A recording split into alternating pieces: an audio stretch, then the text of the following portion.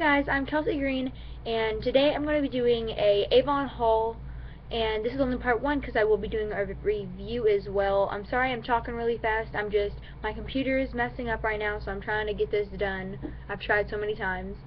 But, so, the first thing I got from Avon was moisturizing products. I got three of them. The other one is a eye cream. This one is morning. You just rub it all over your face and in the morning, and it gives it moisture this one works the same, except you use it at night, and your eye, you just rub it on the lid, the brow bone under your eye, the inner, and like over here.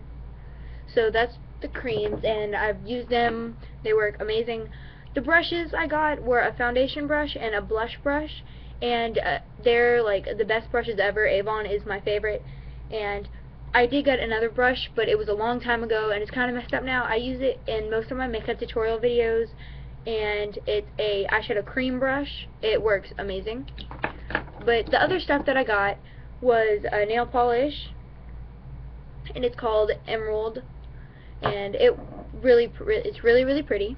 And then I got just a chapstick, like a moisturizing lip therapy chapstick, and I've used that and it works really good.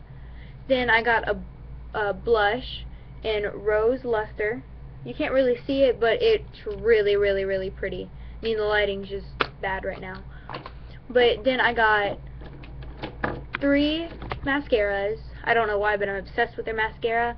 But I got the Wash Off Waterproof mascara. The brush is like that. Really creamy. I like it. Then I got an Avon Super Extend mascara. I think I'm going to use that one on my lower lash. I'm actually wearing it right now on my lower lashes. Uh, it wouldn't work on my top, but it works on my lower great, and not many do work on my lower. So I'm in love with that. Then I got Super Drama Mascara. And it's in a pretty purple packaging. And then I got some lipstick. And it's the color... Uh, what color is it? Naughty and Nude. And it's totally kissable. That's the lipstick kind that it is. But it's by Avon, of course. But that's all I got, and if you want to see the review, after I post it, I will put the link below. If the link is not there yet, then that means I haven't done it yet, but I will do it soon. And like and subscribe. Thanks, guys. Bye.